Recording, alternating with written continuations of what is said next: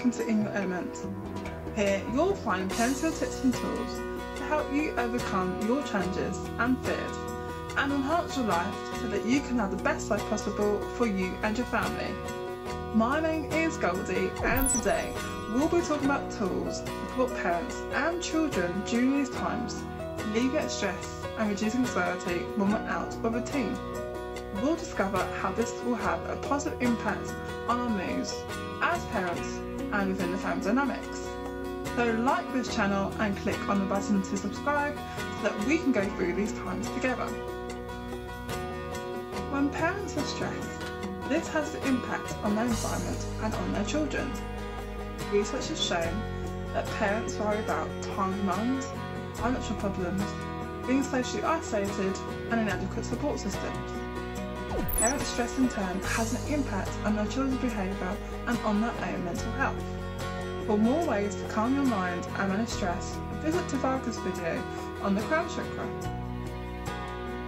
When we feel stress within our bodies, we can do movements to release the energy of this. Exercise increases endorphin levels, which is a chemical in the brain which acts as a natural painkiller and has the ability to increase and in turn reduces stress.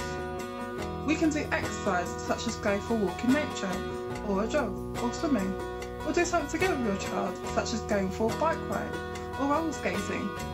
Maybe want to dance, move or shake within our bodies, such as doing online dance programs or Zumba.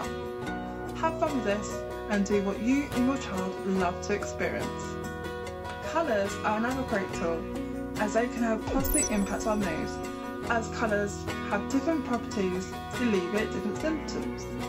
For example, when we're experiencing anxiety, we can use the colour magenta to experience care and orange to promote healing. We can do this simply by the power of imagination. Visualise this colour being wrapped around you or your child for 1 to 3 minutes and infusing that quality of the colour into your being. See how you feel after doing this.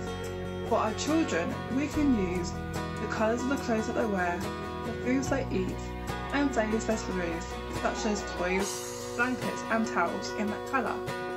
Repeat this on a daily basis for the best results. We look forward to hearing your feedback on how these tools have supported you and your family. Maybe you want to share your experience with us. Just use hashtag InYourElementTV. Thank you and goodbye for now.